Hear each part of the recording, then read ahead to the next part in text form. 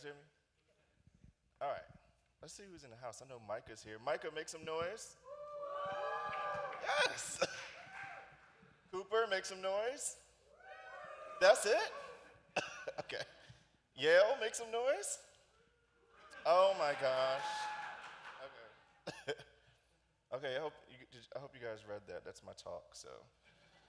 Um, so let me just start out with a big one modernism. um, so this is just the, the first thing you see when you open up uh, The Moderns by Steven Heller and uh, Greg D'Onofrio. Um, so this is just a line from the opening paragraph. Uh, virtually all of the good design in the, our world today is either an adaptation of the visual language of modernism or a reaction to it. So I feel like that meme with that guy with the hat on who's like, you guys know that meme? He's like casting doubt on everything. I don't, th- I, I don't, I disagree with this, um, and we'll talk about it in a second. Who's that? All right. So uh, I tweeted this, uh, what was this, on May 26th. I was asking cynically, is Helvetica the Beyonce of fonts? And um, so Paul Soulellis responded, No, Helvetica is the Barbra Streisand of type. Classic, white, peaked in 1972, loved by our elders.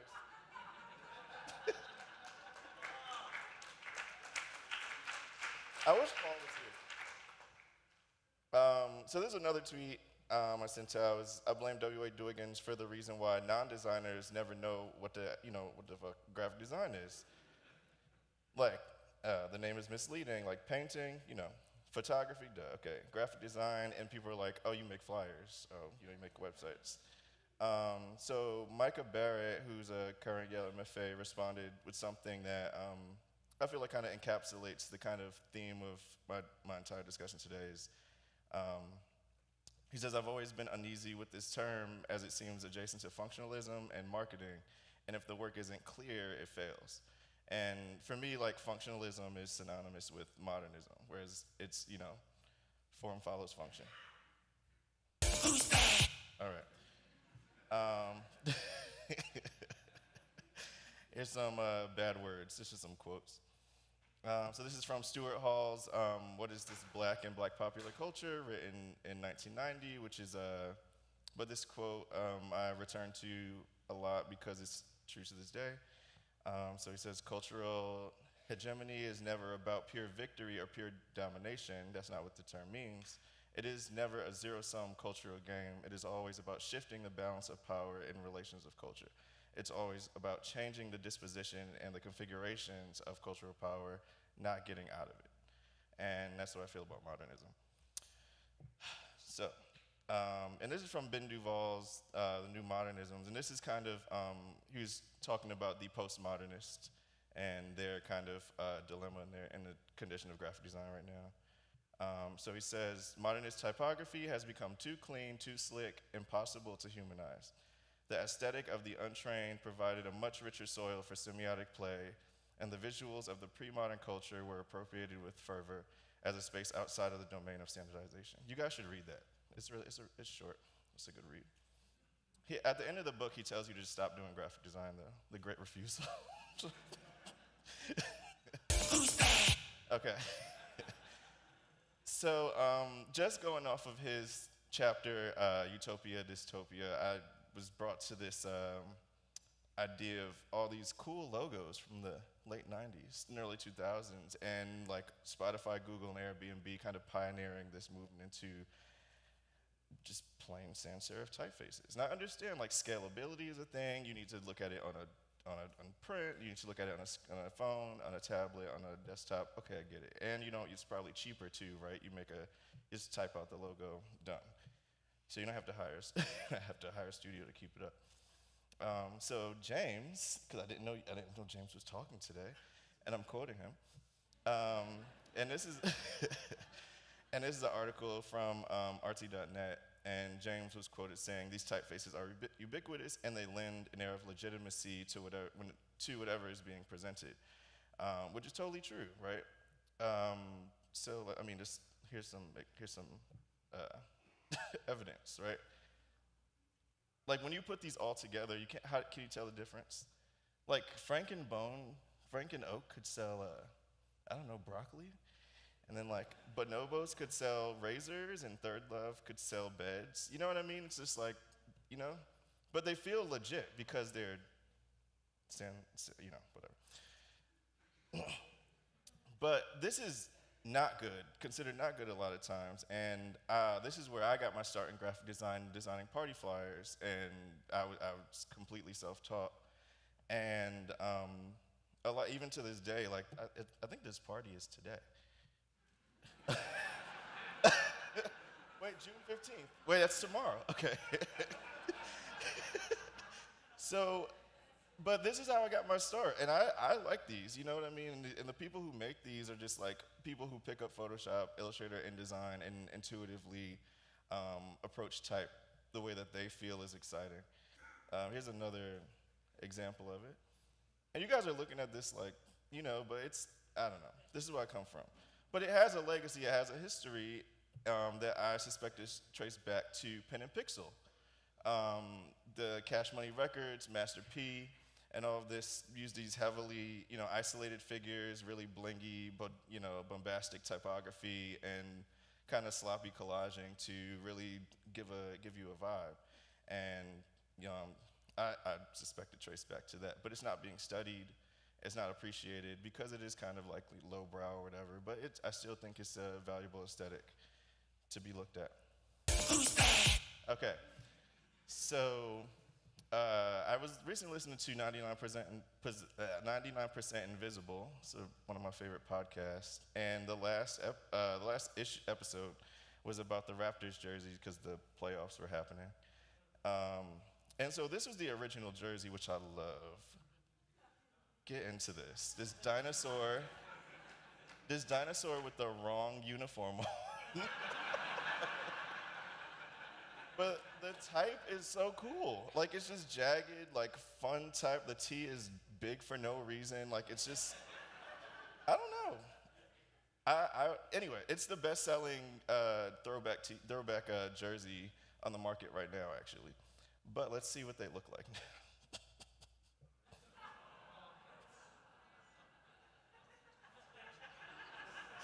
Wait, they have another one too. Look, look.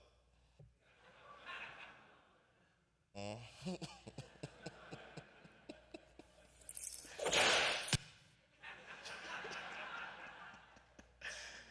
so in my talk description, I, I talk about pairing uh, kind of hip hop and R&B lyrics with uh, pieces of work that I feel like relate. So um, here's the first. Here are the, the pairings. My chick bad, my chick good, my chick do stuff that your chick wish she could. My, my chick bad, my chick good, my chick do stuff that your chick wish she could. Okay, so I just changed chick to type, but um, this. but um, I'm sorry, this blingy type is everything and the like the heavy outer glow. This is early Photoshop. Like you know this this file was like four gigs. Okay. like by the time he put the effects on it, the effects were loading like stop motion. but it's awesome. Like this is an awesome technique, and and you know modernism should take it. Whatever. Anyway, let's keep going. In your neighborhood, not meaning bad, but meaning good. So that's Run DMC, and I kind of paired it with a Party Flyer by Phase 2 um, that was created in the 80s. I don't know the year because the year isn't on the flyer um, that it was created. But like really get into this type, like get into, uh, first of all, these are rub-on letters, right? So like get into the Earth's edge, right? So the S is like the, both the apostrophe and the S at the, aims, at the same time, right? and then like he cut into the edge of the D, you know what I mean? So that when the, when the letters overlapped, he gave a little white space there. So it was like a thoughtful way to, to approach rub-on type. And even look at like NYC Breakers. So that's the B-boys, and he made like the type dance, you know what I mean? So like, pretty cool. Cinnamon, Cardi B, bad bitch. Those is fucking synonyms. Okay, so I put Barbara in here. so it's Barbara G. Bad bitch. Those are synonyms. Okay.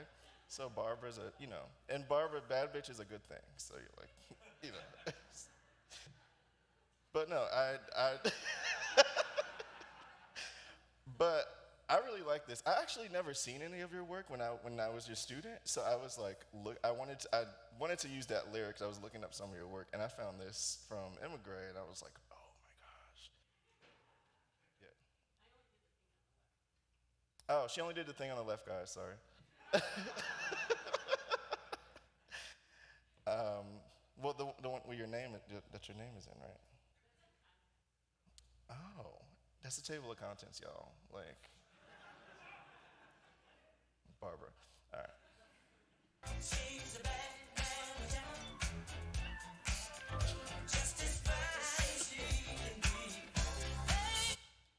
Uh, so I paired that with uh, Sylvia Abernathy, uh, Lainey Abernathy. This is designed in the 70s. This is a jazz cover for Joseph Jarman.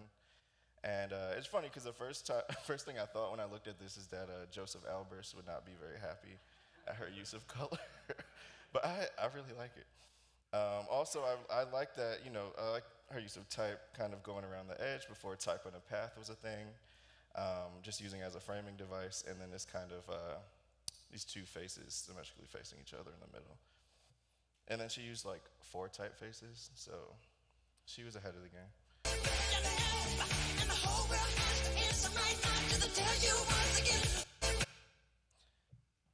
So, I love my students. Um, I put on an exhibition at MICA celebrating um, designers of color. Silas Munro is in there. Silas, where you at? Hey. Um, and I had one of my students, Will Correa, do the identity for it. I just gave him a, a, brief. I was like, I just want handwriting, and I wanted him to use the redacted typeface that um, Forest Young and Jeremy Mickel just designed. So uh, this is what he came up with. This was his uh, social media animations. And uh, Will also hates modernism too, so. And then I kind of took hit, took a cue from him as like the designer of the identity and created, this is the cover for our, um, just the exhibition guide. And um, yeah, it was nice to collaborate and give him the power. Then I was then, I then became his, uh, his designer. Um, so here's, I get a little serious here. Modernism, to Jerome, should not be the only way to approach typography. Or, and let me just say this, like my students, I listened to one of my students describing my work to another student, and she was like, yeah, Jerome's work's really cool. It's so like experimental. And I was like, it's normal though. It's just not Swiss, like, sorry. Uh, and this is something that I, I asked my students to do as well. Um, I said also, Jerome suggests, that you ask yourself, if modernism is your standard for what constitutes good design. And I would ask you to, I would ask you to, would ask you to challenge that if that's the case. And you don't have to if you're in the school of modernism and live your life, but um, great. So um, these are just some design notes because uh, Pride Month, I used Franklin Gothic Heavy, which are the titles, title slides from Paris is Burning. And I stole your colors for all the slides. What t- how much time do I have? Oh, okay, good, cool. Okay, I'm done.